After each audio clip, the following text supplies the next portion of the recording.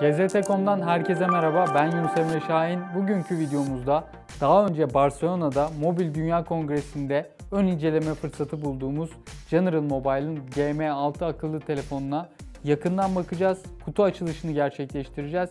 İnceleme bu videoda değil, incelemeyi daha detaylı bir şekilde akabinde yayınlanacak video ile yapacağız. Şimdi kutu içeriğine bakmayla başlıyoruz. Öncelikle kutuda ön kısımda General Mobile GM6'nın büyükçe bir fotoğrafını görüyoruz. Hemen altta Android One üyesi olduğu logo ile belirtilmiş. Yanlarda yine Android One logoları yer alıyor. Arkaya çevirdiğimizde Android 7.0 Nougat'ın kurulu olarak geldiği belirtilmiş. 4.5G desteği var, parmak izi okuyucu var, arka kamera, ön kamera belirtiliyor. Aynı zamanda 5 inçlik e, HD IPS ekranın yer aldığı belirtiliyor. 3000 mAh'lik bataryadan bahsediliyor.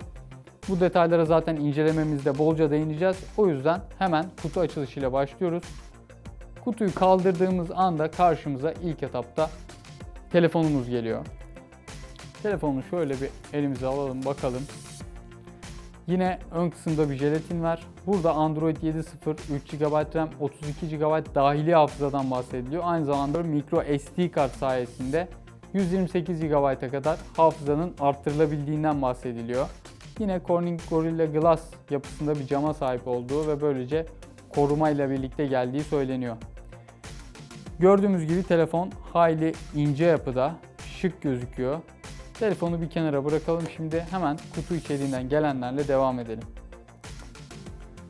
İlk etapta esasında hiç kimsenin yeni ürün aldığında çok fazla bakmadığı kullanım kılavuzu ve garanti belgesi gibi detaylar çıkıyor kutu içeriğinden.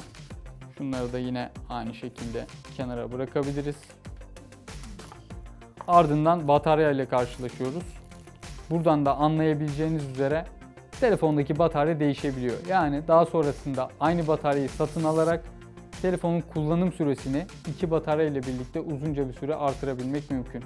Batarya değerlerine baktığımızda ise 3000 mAh'lik bataryadan bahsediyoruz. Hayli büyük bir yapıda ancak ince. Dolayısıyla telefonun e, inceliğine de bu bataryanın inceliği etki ediyor diyebiliriz. Bataryayı da yine kenara bıraktık. Diğer bir önemli detay ise adaptör. Şarj adaptörü üst kısım kırmızı olarak tasarlanmış. Yine USB'nin iç kısmı da kırmızı. Ancak genel olarak adaptörün yapısı beyaz. Şurada da General Mobile logosu yer alıyor. Arkayı çevirdiğimizde ise önemli detaylardan biri turbo şarj teknolojisinin destekleniyor olması. Bu ne demek? Bu adaptör sayesinde General Mobile GM6'nın daha hızlı şarj olabileceğini gösteriyor. Değerlerine de baktığımızda 5 volt 2 amper çıkış sunulduğu söyleniyor. Yani bu da hızlı şarj teknolojisi için gayet yeterli bir değer. Adaptörü de kenara bıraktık. Ve kutu içeriğinin, akıllı telefonların kutu içeriğinin olmazsa olmazlarından kulaklık. Kulaklığın üzerinde kumanda yer alıyor. Yine altın uçlu bir jack belirlenmiş. Bununla ilgili detaylara birazdan bakacağız. Son olarak standart micro USB yapısındaki kablo da geliyor. Bunun uzunluğu zaten standart. Gördüğünüz gibi uç kısımları da yine adaptörde olduğu gibi kırmızı şekilde belirlenmiş. Bu da hoş bir detay diyebiliriz. Onun haricinde kulaklığın silikonları da burada geliyor. Şöyle çıkarttığımızda görebiliyoruz. Kutuyu bir kenara alalım.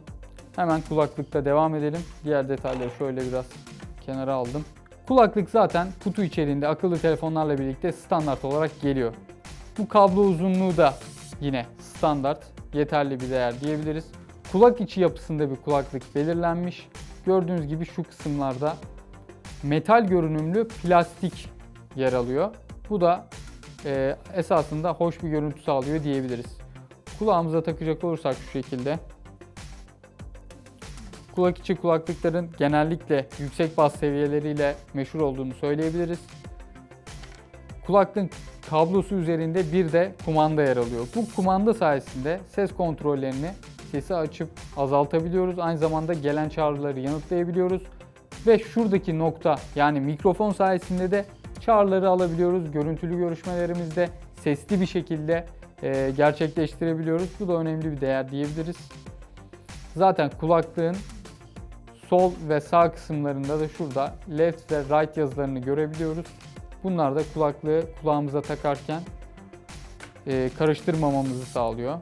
Diğer yandan eğer kulağınız rahat değilse silikonla şu şekilde silikonu çıkartıp kutu içeriğinden gelen farklı silikonları da buraya yerleştirip kolayca kullanım sağlayabiliyorsunuz. Eğer kutu içeriğinden standart olarak gelen kulaklık rahatsız ettiriyorsa diğer silikonları da kullanabilir ve e, daha ergonomik kullanım sunabilirsiniz.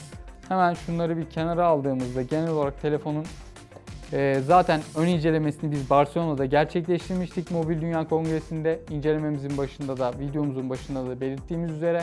Bu videoda bir kutu açılışı yapalım istedik. E, ilerleyen günlerde yayınlanacak olan videolarla birlikte zaten General Mobile GM6'nın tüm özelliklerinden bahsedeceğiz.